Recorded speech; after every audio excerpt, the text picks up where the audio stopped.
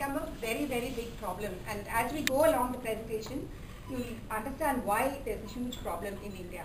TB is a very, very old disease, been mentioned by Sushruta and the Vedic age and all that, and it's been around for a very, very long time. But many, many things are actually making it a resurgent and it's become at epidemic levels now in, in India. And India is 17th among the 22 high burden countries.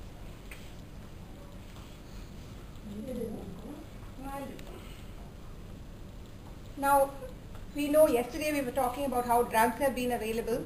So the last drug was discovered only in around 1960s, is rifampicin.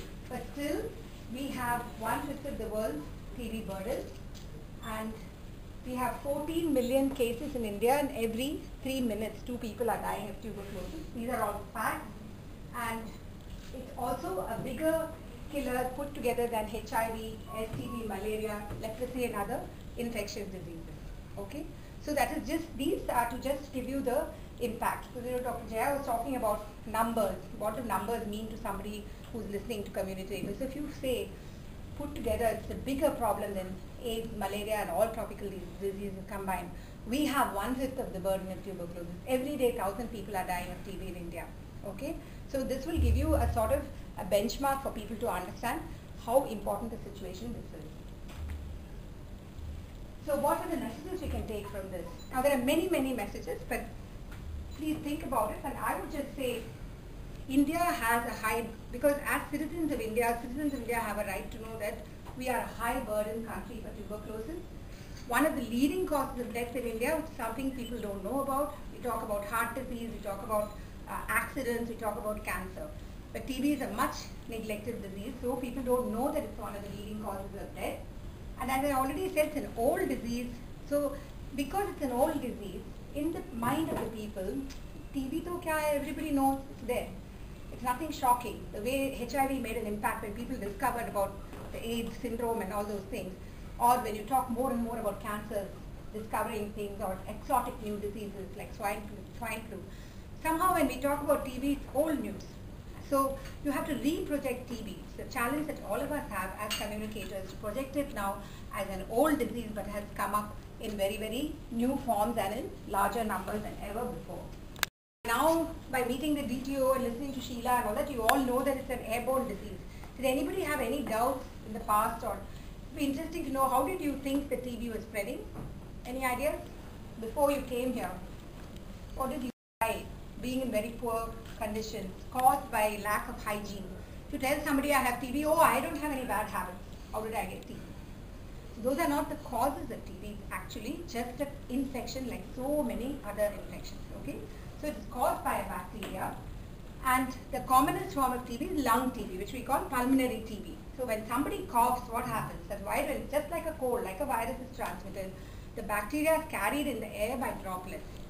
So when somebody else breathes in the air, and if you are in a low immune status, I'll talk a little more about that, that person is susceptible, they can get tuberculosis. So it first enters the lung, goes into the bloodstream, it may remain in the lungs or it can affect many other parts of the body. But primarily, it affects the lungs. So what can you do to prevent from getting TB? Can you stop breathing? So it's as basic as that. It comes with the breath. So unless you stop, the only way to really stop breathing is to stop getting TB is to stop breathing, is not possible. Of course, there are things you can do to prevent yourself from becoming weak or be careful when you, you are in contact with people with TB. But otherwise, TB spreads through air and not through anything else. So you can share your utensils with people, somebody in the family or your friends if they have tuberculosis. You can share a home, you can share a bed, you can share everything. Okay? This is very, very important when we talk about stigma. So this is one message that you really have to say that don't blame a TB patient for getting TB. All the mistake that he or she did was to breathe the air. Okay? So anyone can get TB. And it's important to say that TB is not a hereditary disease. So what happens is sometimes in families when they're overcrowded and you have a per person who is sputum positive and is coughing there, that person doesn't know about cough hygiene. They're not covering their mouth when they're coughing. So they spread it to somebody in their home. So what happens when an older person gets TB?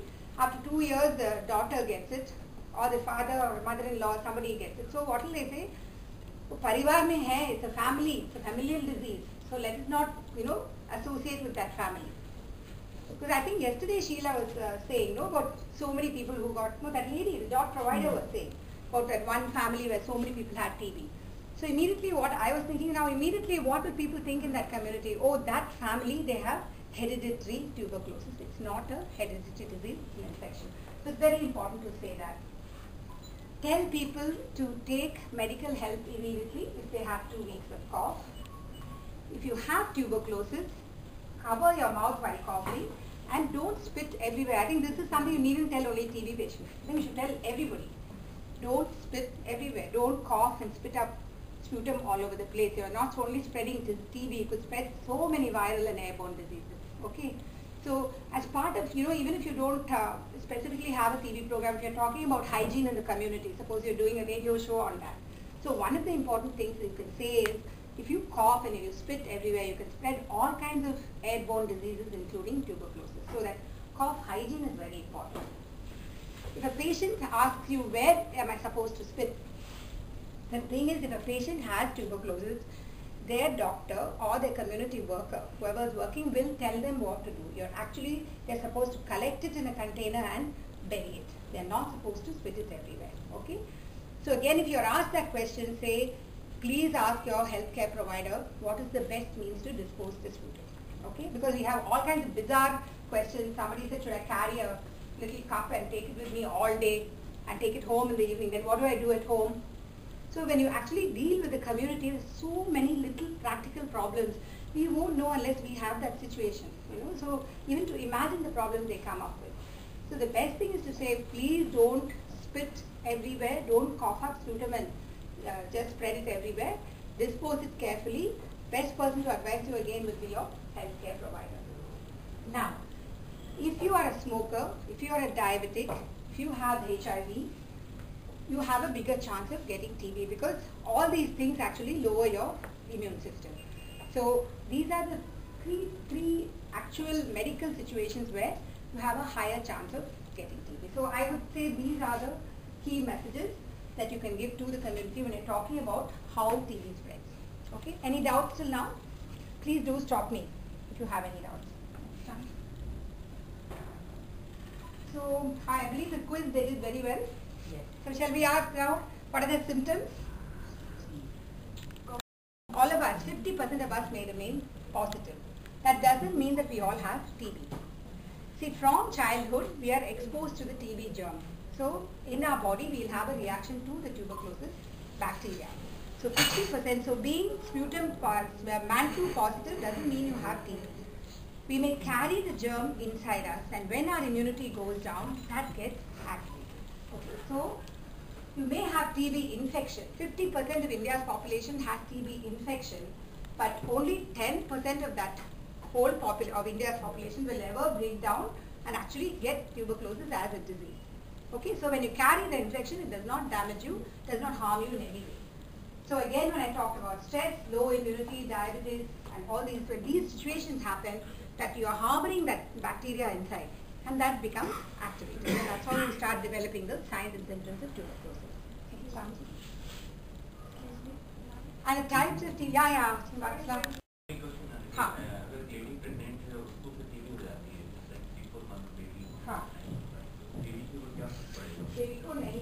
not passing into uh, cannot affect the child.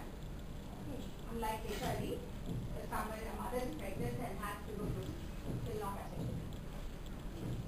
doctor to prescribe a blood test because a blood test for TB. They may do your usual, you know, TCDC, ESR, they may check your hemoglobin because for one thing doctors will write some 20 tests. But there's no blood test that can confirm tuberculosis.